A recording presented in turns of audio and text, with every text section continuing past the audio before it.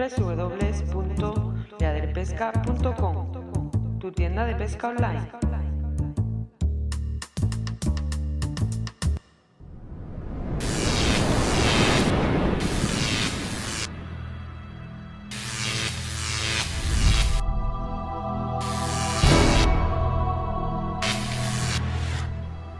Hola amigos de Líder Pesca, hoy, hoy vamos a recuperar una sección que teníamos olvidada de hace unos meses cuestiones de trabajo y vamos a hacer otro descubierto hoy con un gran amigo nuestro de la tienda, Juan, Juan Valderrama, conocido por todos ustedes por un cantante muy famoso, artista, conocido por, por toda la gente de Andalucía y fuera de Andalucía.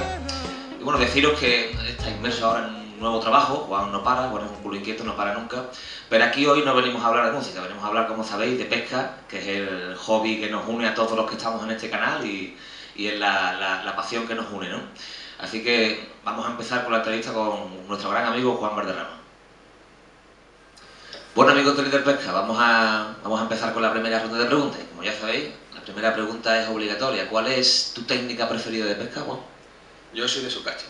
Surcaching, una playa solitaria, sin bañistas, invierno, verano, mejor en verano y preferiblemente de noche.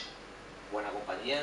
Buena compañía, los amiguetes de siempre, cenar en la playa, botellines fresquitos. Una fresquita que no, que no parte. También vamos en invierno, ¿eh? O sea que ni en invierno de noche hace mucho frío. Solemos ir por las tardes. Termo, termo de, de Pero tiene, su, por la noche. pero tiene su encanto la playa en invierno también, Sí. pero siempre en la playa. Mucho mejor. ¿Y tu zona preferida de pesca? Ya no me refiero a una playa en concreto, sino igual una zona más amplia, ¿no? España entera prácticamente es una isla, entonces tenemos un litoral enorme. Yo soy un fanático de la costa de Doñana, toda esta zona que tenemos cerca de, de Huelva y, y la Marisma, y luego hay Cádiz, es, es un vergel también. Cádiz, toda la zona cercana al estrecho, tiene unas playas fantásticas, luego el viento, que tienes también que saber pescar con él, te enseña mucho. Eso es- no es una zona fácil, pero sí es una zona Muy agradecida, ¿no? Sí, con mucha abundancia, que te da muchas sorpresas. En Huelva sabes un poco lo que va a Ah, pasar, pero en Cádiz siempre hay un... a ver qué es. De no saber de, que puede pasar cualquier cosa. Entonces esas son las dos zonas, también por cercanía, Claro. que yo suelo frecuentar. ¿Y en qué zona o país te gustaría pescar que aún no hayas podido ir? Hombre, que yo creo que el cuerno de África, Cabo Verde, toda la costa de Mali, de Somalia, son países que son, no son seguros, son países muy inseguros, pero creo que, que esa es una zona idílica. O sea, que las grandes piezas están ahí y luego el Pacífico, con los grandes marlins y todo eso que sale, que vemos en los documentales. Y que ojalá. envidiamos desde que envidiamos y lo vemos desde casa, que no parece real. Claro. Y, y dinos, un- dinos una especie que, que te gustaría capturar que aún se te resista, o que no hayas podido ir a por ella, ¿no? Que sea una zona que todavía no hayas podido ir. Hombre, desde barco, desde embarcación, el marlin que hemos hablado, y el gran rojo, o sea, el gran atún rojo, yo creo que eso es lo máximo a lo que Lo puede aspirar a un pescador. Y luego yo creo que la reina de- del surcasting es la dorada. Sacar una dorada de 5 o 6 kilos, eso No tiene precio tampoco. No, yo pienso que no, que esa emoción tiene que ser bárbara. Claro. Y bueno, y cuéntanos cuál ha sido la, la captura que, que más te ha gustado, que más emoción te ha dado, que más ilusión te ha hecho. Y aquí ya decimos a, a los entrevistadores que no tiene nada que ver la, la primera o la más grande, ya ¿cuál te gustó más? Hombre, ahí el tamaño importa, eso está claro. Entonces no se me olvida un, un róbalo de 7 kilos y medio que sacamos en la playa del Espigón de Huelva, o sea que hace muchos años salió en el periódico y todo. Y luego una vez que fui a pescar con mi padre, que yo creo que es la única vez que ha pescado en su vida, y él no entendía por qué me gustaba a mí eso, y pescó. Tuvo la suerte de, de que le entró un pescado y lo sacó del agua así. Y no se aficionó, pero ya a partir de ese momento comprendía la emoción, ¿Por qué? por qué me gust- nos gustaba tanto a mí y a mis amigos ir a pescar. Yo creo que son dos. Muy bien, pues continuamos con la segunda ronda de preguntas. Bueno amigos, pues seguimos con la segunda ronda y la pregunta sería, ¿quién te introdujo en el mundo de la pesca? Yo recuerdo que de- cuando veraneaba con mis padres, en la costa de Levante, sobre todo, que ellos trabajaban mucho por allí, yo me quedaba con mi abuela, yo veía a los pescadores y me llamaban mucho la atención. De chiquillo yo me aficioné solo. Me ponía a su lado, les preguntaba y ellos, Poquito a poco, claro, y estaban explicando. Y, y así me fui, fui introduciéndome, aficionándome y yo recuerdo que con 8 o 9 años ya tenía mi caña y ya pescaba. Ya sacaba herrerita chiquitita, brecas, todo eso que se daba allí.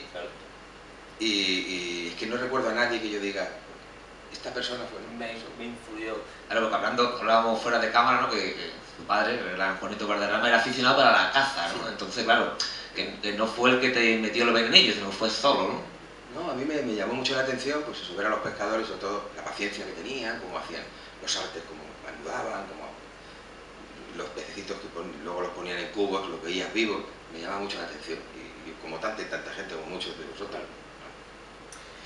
¿Y con qué personaje famoso o histórico te irías de pesca? ¿Compartirías una jornada de pesca? ¿Ya puede ser actual o, o que ya haya fallecido? ¿Con quién te gustaría?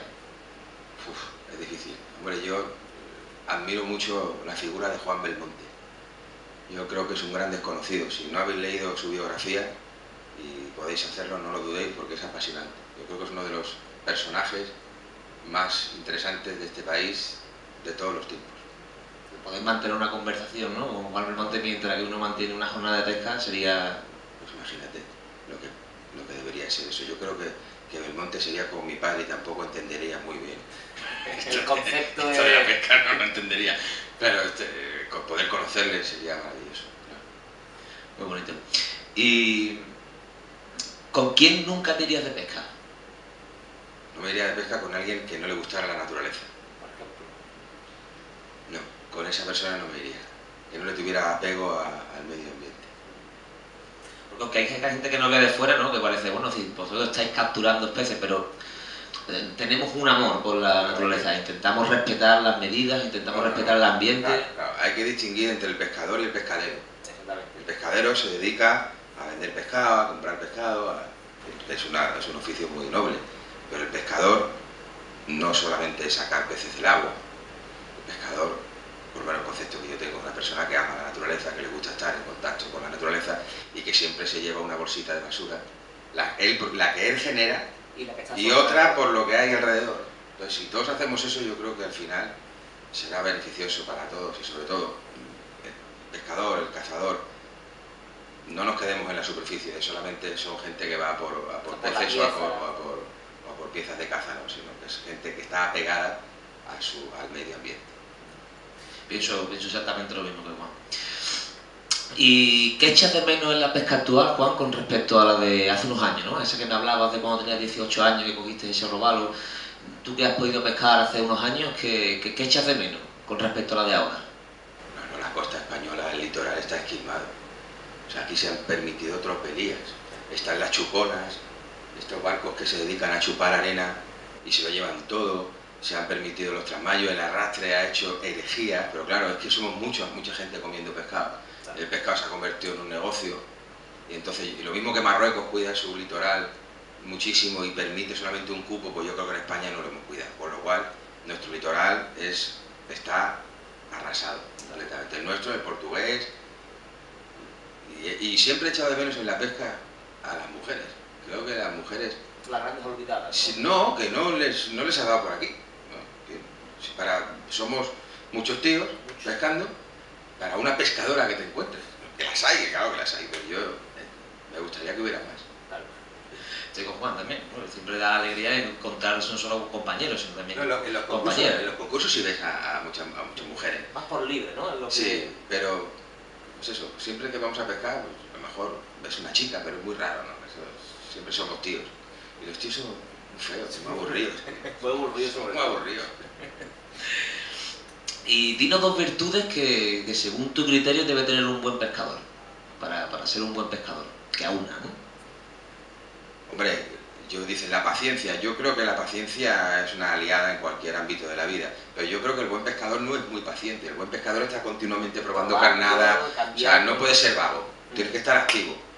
Y luego creo que, una, que, el, que el- que el buen pescador, yo creo que es una persona que disfruta de todo, además de, de la pesca. O sea, yo los grandes pescadores que he visto son gente con, muy hábiles, que conocen muy bien, que leen muy bien el mar, pero sobre todo porque han pasado muchas horas observando más que pescando, observando y fijándose en, en- en cómo reaccionan los peces en el viento, en la marea, en la luna. Ese es el gran pescador.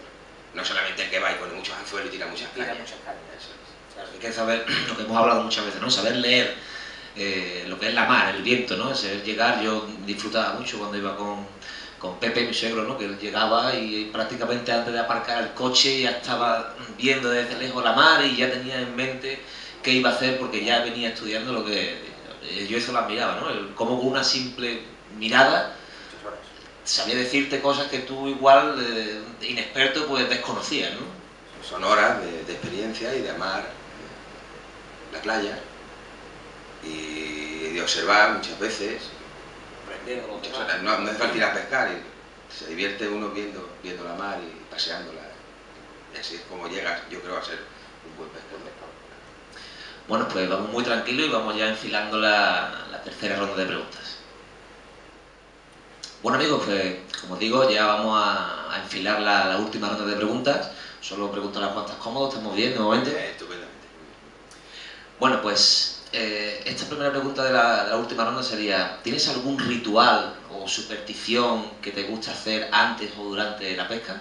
Sabes que somos muy meticulosos algunos pescadores, otros no, pero somos muy mijitas los pescadores.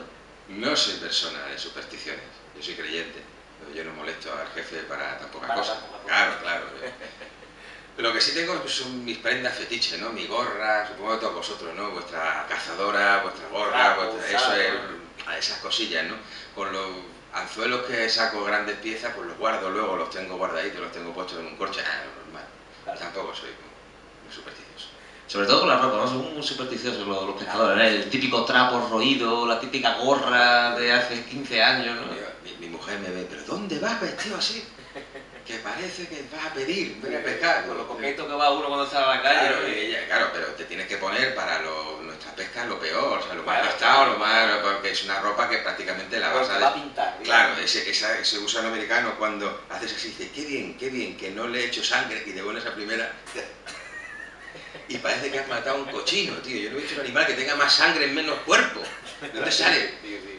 Pero claro, por eso esa ropa que nos ponemos tan estrafalaria y tan. Eso, dices, tú parece que.